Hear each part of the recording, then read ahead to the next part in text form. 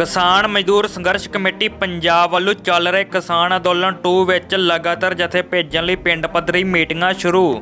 ਕਿਸਾਨ ਮਜ਼ਦੂਰ ਸੰਘਰਸ਼ ਕਮੇਟੀ ਪੰਜਾਬ ਦੇ ਜ਼ਿਲ੍ਹੇ ਫਿਰੋਜ਼ਪੁਰ, ਜ਼ੋਨ ਮੱਲਾਵਾਲੇ ਦੇ ਪਿੰਡ ਕਾਮਲਵਾਲਾ ਦੀ ਮੀਟਿੰਗ ਦੌਰਾਨ ਗੁਰਦੁਆਰਾ ਸਾਹਿਬ ਵਿਖੇ ਜ਼ੋਨ ਪ੍ਰਧਾਨ ਰਿਸ਼ਪਾਲ ਸਿੰਘ ਗੱਟਾ ਬਾਦਸ਼ਾਹ ਦੀ ਅਗਵਾਈ ਵਿੱਚ ਕੀਤੀ ਗਈ। ਮੀਟਿੰਗ 'ਚ ਇਸ ਮੌਕੇ ਨਗਰ ਦੀ ਗ੍ਰਾਮ ਸਭਾ ਵੱਲੋਂ ਕਿਸਾਨ ਅੰਦੋਲਨ 2 ਦੀਆਂ 12 ਮੰਗਾਂ ਤੇ ਸਹਿਮਤੀ ਮਤਾ ਵੀ ਪਾਸ ਕੀਤਾ ਗਿਆ। ਇਸ ਮੌਕੇ ਅੰਦੋਲਨ ਦੀ ਡਟਵੀਂ ਹਮਾਇਤ ਕਰਨ ਦਾ ਫੈਸਲਾ ਵੀ ਕੀਤਾ ਗਿਆ।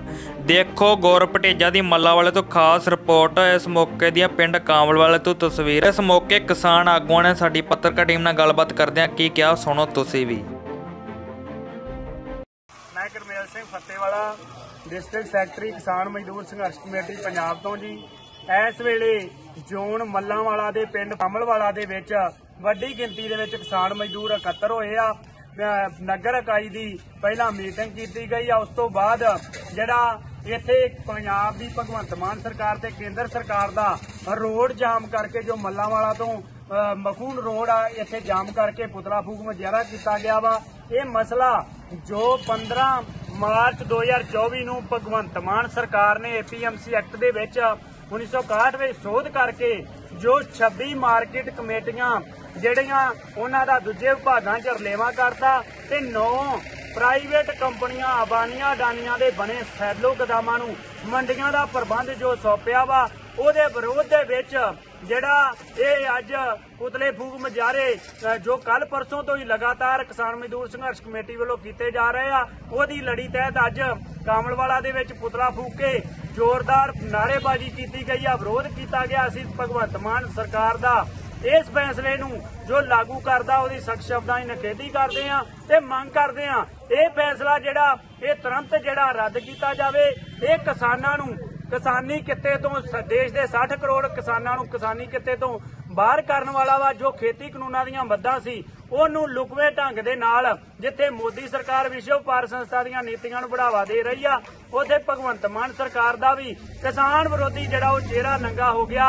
ਇਸ ਐਕਟ ਨੂੰ ਫੈਸਲੇ ਨੂੰ ਜਿਹੜਾ ਲਾਗੂ ਕੀਤਾ ਜਾ ਰਿਹਾ, ਇਸ ਫੈਸਲੇ ਦੇ ਲਾਗੂ ਹੋਣ ਦੇ ਨਾਲ ਤੇ ਜਿਹੜਾ ਕਿਸਾਨਾਂ ਦੀ ਤੇ ਆਉਣ ਵਾਲੇ ਸਮੇਂ ਦੇ ਵਿੱਚ ਸੈਲੋ ਗਦਾਮ ਲੁੱਟ ਕਰਨਗੇ ਪਰ ਉਹਦੇ ਨਾਲ ਜੋ ਆੜਤੀਏ ਭਰਾ ਵਾ 30000 ਆੜਤੀਏ ਭਰਾ, ਉਹਨਾਂ ਨੂੰ ਵੀ ਬਾਹਰ ਕਰਨ ਦੀ ਤਿਆਰੀ ਆ, ਲੇਬਰ ਨੂੰ ਜੋ ਮੰਡੀਆਂ 'ਚ ਕੰਮ ਕਰਦੀ, ਉਹਨੂੰ ਬਾਹਰ ਕਰਨ ਦੀ ਤਿਆਰੀ ਆ।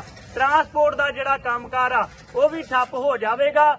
ਇਸ ਨਾਲ ਅੰਦੋਲਨ ਜਿਹੜਾ ਇਹ ਮੰਡੀਆਂ ਤੋਂ ਮੰਡੀਆਂ ਭੰਗ ਕਰਨ ਦੀ ਤਿਆਰੀ ਆ, ਉਹਦੇ ਨਾਲ ਜੋ ਰੂਰਲ ਡਿਵੈਲਪਮੈਂਟ ਦੇ ਨਾਂ ਤੇ ਫੰਡ 6.4% ਜਿਹੜਾ ਪਿੰਡਾਂ ਦੇ ਵਿਕਾਸ ਵਾਸਤੇ ਆਉਂਦਾ ਸੀ, ਲਿੰਕ ਸੜਕਾਂ ਵਾਸਤੇ ਆਉਂਦਾ ਸੀ, ਮੰਡੀਆਂ ਦੇ ਰੱਖ ਰਖਾਵ ਦਾ ਆਉਂਦਾ ਸੀ ਉਹ ਵੀ ਖਤਮ ਕਰਨ ਦੀ ਜਿਹੜੀ ਉਹ ਸਰਕਾਰ ਦੀ ਤਿਆਰੀ ਆ, ਅਸੀਂ ਇਸ ਫੈਸਲੇ ਦਾ ਡਟਵਾਂ ਵਿਰੋਧ ਕਰਦੇ ਆ। ਜਿੰਨੀ ਦੇਰ ਤੱਕ ਇਹ ਫੈਸਲਾ ਜਿਹੜਾ ਰੱਦ ਨਹੀਂ ਹੁੰਦਾ, ਉਨੀ ਦੇਰ ਤੱਕ ਸੰਘਰਸ਼ ਕਰਾਂਗੇ। ਉਹਦੇ ਨਾਲ ਪੰਜਾਬ, ਹਰਿਆਣਾ ਦੇ ਬਾਰਡਰਾਂ ਦੇ ਉੱਤੇ ਦੋਨਾਂ ਫੋਰਮਾਂ ਵੱਲੋਂ ਸੰਘਰਸ਼ ਚੱਲ ਰਿਹਾ ਵਾ। ਮੋਦੀ ਸਰਕਾਰ ਦੇ ਵਿਰੁੱਧ, ਇਹਨਾਂ ਨੀਤੀਆਂ ਦੇ ਵਿਰੁੱਧ ਐਮਐਸਪੀ ਗਰੰਟੀ ਕਾਨੂੰਨ ਬਣਾਉਣ ਲਈ, ਕਿਸਾਨਾਂ ਮਜ਼ਦੂਰਾਂ ਦਾ ਕਰਜ਼ਾ ਮੁਕਤ ਕਰਾਉਣ ਲਈ, ਉਹਦੇ ਵਾਸਤੇ ਪਿੰਡ ਦੀ ਮੀਟਿੰਗ ਕਰਕੇ ਉਹਦੀਆਂ ਤਿਆਰੀਆਂ ਵੀ ਉੱਥੇ ਜਿਹੜਾ ਮੋਰਚੇ ਦੀਆਂ ਮਜ਼ਬੂਤੀ ਵਾਸਤੇ ਕਰਵਾਈਆਂ ਗਈਆਂ ਵਾ।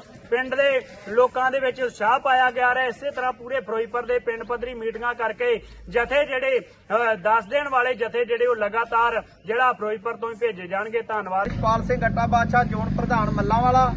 ਅੱਜ ਪਿੰਡ ਕਾਮਲਵਾਲੇ ਦੇ ਵਿੱਚ ਵੱਡਾ ਇਕੱਠ ਕਰਕੇ ਕਿਸਾਨਾਂ ਮਜ਼ਦੂਰਾਂ ਦੀ ਜਿਹੜੀ ਮੀਟਿੰਗ ਲਾਈ ਗਈ ਆ।